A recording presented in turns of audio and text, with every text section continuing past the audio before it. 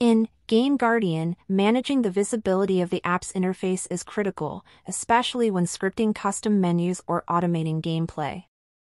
The functions is visible and set visible are essential tools for this purpose. Is visible function is used to determine if the Game Guardian UI is currently visible, returning a boolean value, true if it is visible, and false if it is not. If you want to change the current visibility state, you use Set Visible function, which allows you to explicitly show or hide the user interface. The variable running controls the script loop. As long as running is true, the script will keep running. Main menu function sets up the main menu options, like activating features or quitting the script. Alert function is used to display a pop-up alert box with a message.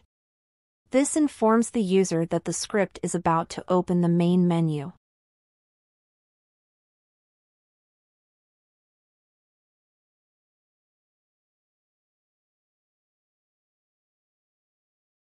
Choice function is used to display three options to the user. The user can select one of these options, and their choice is stored in the variable menu.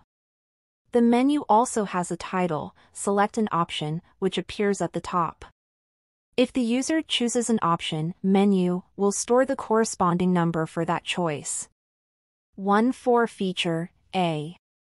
2 for feature B. 3 for quit. If the user cancels the menu, menu will be set to nil.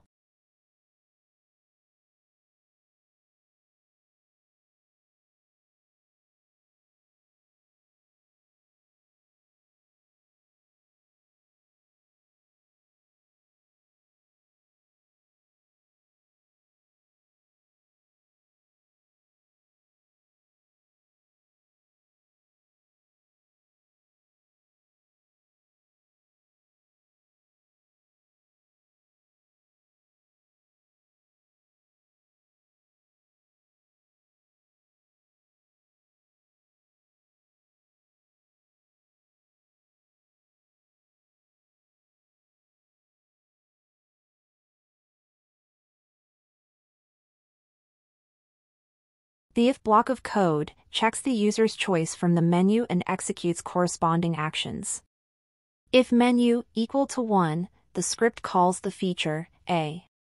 Else if menu equal to 2, the script calls the feature B. Else if menu equal to 3, the script sets running to false, which will stop the main loop and exit the script. In summary, based on the user's choice, the script either activates a feature or exits by setting running to false.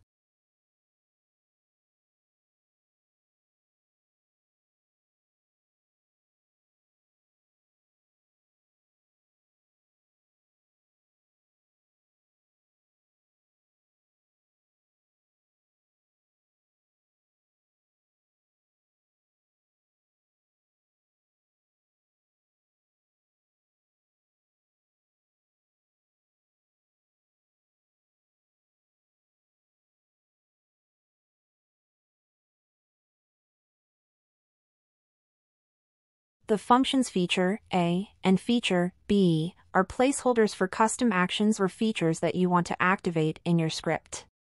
When called feature A, it will execute the code inside it. In this case, it shows an alert with the message feature A activated. You can replace the comment, your code here, with the specific code for feature A. Similarly, when feature B is called, it will show in a message, feature B activated.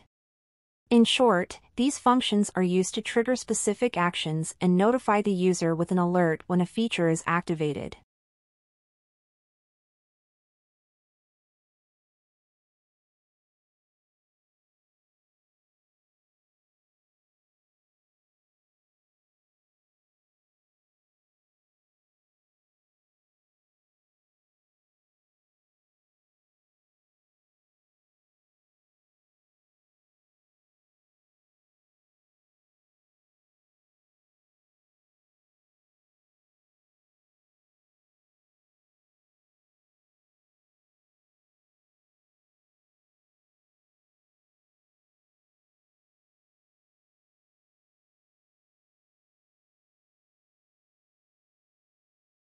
This block of code starts a loop that will keep executing as long as the running variable is true.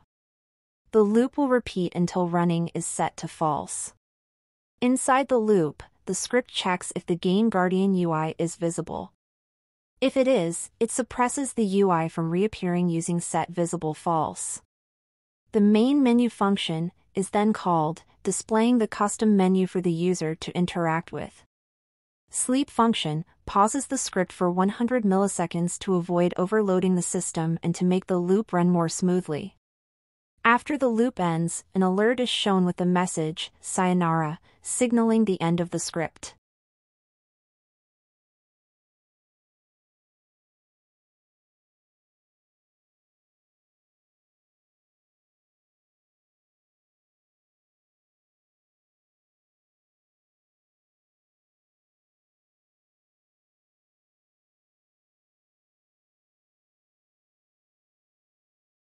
Is visible and set visible functions are commonly used in loops to manage the visibility of the Game Guardian UI, ensuring a smooth user experience with your custom menu.